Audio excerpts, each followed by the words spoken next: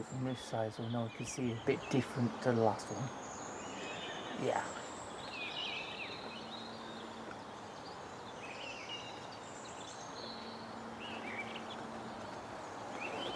I like these sort of churches, I really do.